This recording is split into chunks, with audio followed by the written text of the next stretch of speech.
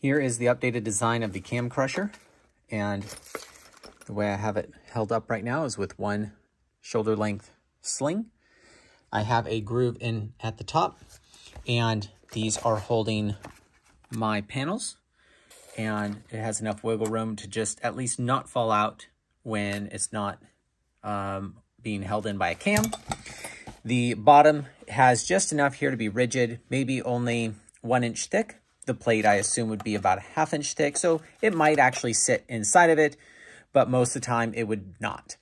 And you can see that these two inner plates can be tapered, tapered, tapered. And it would have four bolts, um, probably, probably bigger than half inch. Um, this I could give you whole dimensions and everything. I'm, I like the idea of having the tabs, um, but connecting it to, let's say, a line scale 3 is the crux, right? Now, I would connect this to the line scale 3 with the soft shackle, but the problem is you have a cam crusher dangling again. Pros and cons. Um, it's really hard to just mount this to, well, the tree, if that's what we're using. Um, and it might be nice if I did mount it to have flanges sticking out right here on both sides to have uh, like a third point and then a center bolt. But I don't know if I like mounting it because that means I have to drop a line scale 3 with the sample in order to read the force, which I might be able to actually get this built into my frame of the dummy. So it actually might not be the end of the world if I had to do that. But uh, for now, I might just dangle. And if it's in the uh, slack snap machine, um, then it would literally, literally look like that. And it would just be pulled that way. Now, if I wanted to pull over an edge, just use a cam that fits in there for now. Um, I wouldn't be able to do it with the big guy. Um, I don't know what, I don't know if I want to build this to try to test over an edge, quote unquote. I'd rather like add, add a piece that I could make the edge and change the edge. But at this point, we've already done edge tests, um, and it usually just breaks either the cable or the sling, like it's less force. Now, what's nice is if I could get some pressure plates back inside of here, um, ideally just scales that maybe have an external reading, something that's not too expensive, right? Because I wouldn't need something more than 500 pounds because I could just like, it's four times the force supposedly. And if I put a hundred pound weight on this, I would, I just don't need something that fancy. And it'd be nice if I could have two scales, maybe a little eyelet cut out here so you could read it.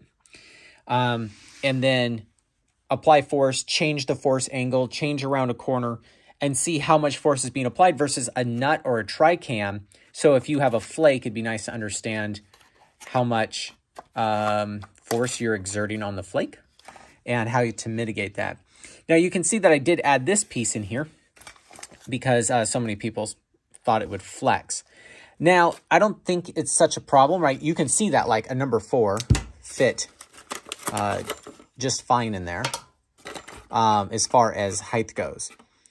Now, remember I originally wanted to just be able to test smaller stuff. That's like my biggest problem right now. If I wanted to test a number five, I technically could use the other cam crusher.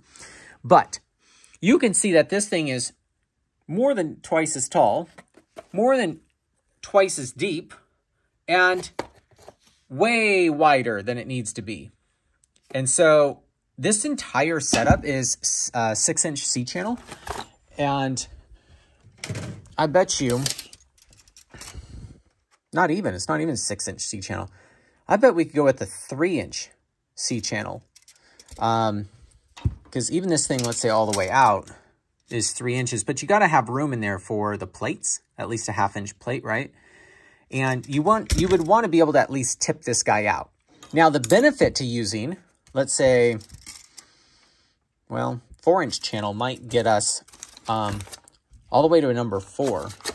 Slide that over mount this and I'll show you what I'm talking about. Okay. So obviously number two fits really well.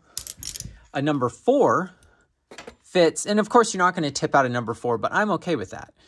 And then I even was able to get, ironically, barely, a number five. And that just shows like how big that is. And I'm not really trying to test a number five. It would be nice to be able to test a number four. And that need, means we only need five inches inside. And right now this is six and a half. Um, I'd say the, if the width was tighter, then as far as dimensions go, let's say a tipped out three only requires, um, I don't know, like three and a half inches, three and three eighths. So a half inch plate on either side is only a four. It would only have to be about, yeah, let's say five inches outside to outside dimensions, right? If this is like half inch thick, it could be quarter inch thick maybe. So it could just be narrower. As far as depth, we can see that from inside dimensions, from here to the bottom, it's like five-ish. And it could be like three-ish because here it is about less than three. Let me put this uh, fully over it. You can check it out a little bit better. So as far as depth goes, be about that would be the most. The inside dimensions, three inches covers this, but you can see that it's not touching right there. So technically, if I stuck a four inch guy in here, if I had three inches, three inches is right where it's touching. So it's pushing out maybe like three and a half inches deep. But right now my inside dimension is almost five. So a three and a half or a four, four inches this way. And as far as we already covered width, depth, height, the thickest cam we have here is three and a half inches. And right now I'm wasting two full inches. Think about like, this thing was way more narrow. Now I want it to be stable, but like this plate could literally be half as, half as wide. So yeah, if it was more like this, I think that'd be fine. Now, I would want to be able to place something like this. So in that situation, let's pull out our biggest one. And if I placed it straight in, and then I wanted to test, drop testing it, uh, let's punch out on that guy. Let's say this is in the drop tower, put in this way, and then I want to load it.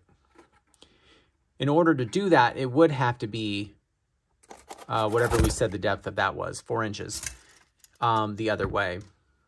And that would allow a, a cam to go in straight and then out, but there's no more than you would need in that. So if we shrunk this whole thing up one inch in all directions, at least, then I'd be able to test anything.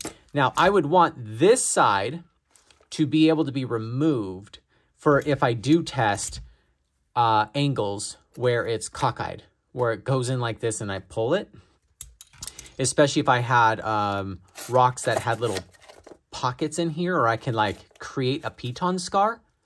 That would be really cool in order to pull this way and then down.